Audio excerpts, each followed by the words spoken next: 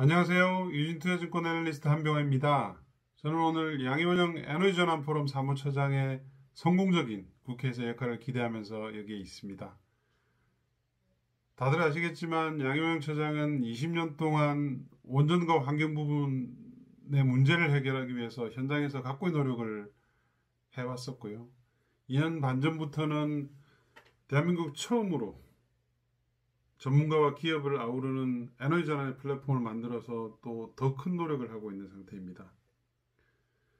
현 정부는 에너지 전환을 모토로 삼고 있죠. 하지만 왠지 미진한 부분들이 너무 많은 것 같습니다. 가장 큰 이유는 제가 생각하기에는 입법 절차가 국회에서 막혀 있기 때문이지 않나 싶습니다.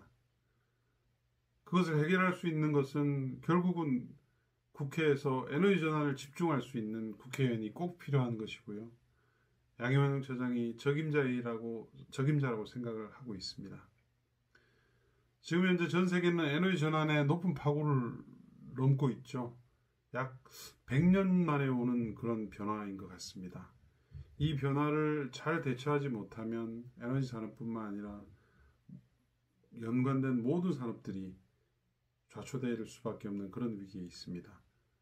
다들 아시겠지만 대한민국은 OECD 국가 중에서도 에너지 전환의 수준이 가장 낮은 국가입니다. 따라서 지금 열심히 하지 않으면 에너지 전환을 위해서 뭐든 하지 않으면 대한민국의 역사가 경제가 힘들어질 수밖에 없는 그런 현실입니다. 따라서 국회에서의 에너지 전환을 위한 전사가 필요하고요. 양희원 처장이 그 에너지 전환의 전사가 되어줄 것을 바랍니다. 양현영 파이팅! 대한민국 에너지 전환 파이팅!